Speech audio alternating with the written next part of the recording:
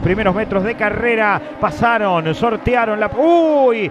A uno lo acomoda. Vuelco, Vuelco. vuelco, Piña. ¿Quién es? Bocanera, venía un auto de atrás, ¿eh? O. No sé, uno de los autos del equipo octano.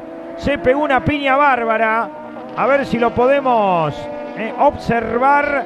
Sí, Ahí quedó. quedó volcado contra el talud. Incómodo. Alguno lo ayudó, ¿eh? Mirá cómo quedó. Es un auto del equipo octano. ¿O es el turco o es Bocanera? A ver. Es, Auto de es- seguridad. es incómodo porque quedó apoyado sobre la puerta del conductor, entonces no puede bajar fácilmente. Para, para- ahí es está, el turco. Hamse, sí señor, ¿eh? Ahí está ya rápidamente el servicio médico. Fue un bombazo contra el talud, mirá. Justo donde hay gran concurrencia de público, pero cumplió el objetivo. Paró el auto de el turco Hamse que salió despedido. No la pueden creer ustedes, ¿no? Ahí está el equipo. Octanos, el equipo del amigo Cristian Martínez. Mirá cómo quedó. Panza para arriba el auto del turco. Sí, le va a llevar un tiempo acomodarlo, ¿no? Porque lo tienen que volver a poner sobre las cuatro ruedas y después sacarlo. Pero primero, antes que nada, es ver cómo está el piloto, que no, no, no debe haber tenido grandes consecuencias, porque el ver, golpe no fue mirá, fuerte. mirá.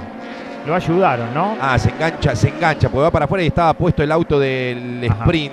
Uh, qué que sacudón fue- pegó. No sé Claro. si será Cotiñola quien largaba ahí junto con. Detrás del turco. Bueno, pero por Sí, suerte, estaba Cotiñola. eh, adelante la Cotiño y Razuk, los dos. Puede ser Razuco o Cotiñola. por suerte cuando el auto toma eh, vuelo, cuando se eleva, se eleva con el golpe del baúl. No se, no, no Mirá, rebota. Lo, lo primero que rebota es el baúl contra el talud, que es peligrosísimo.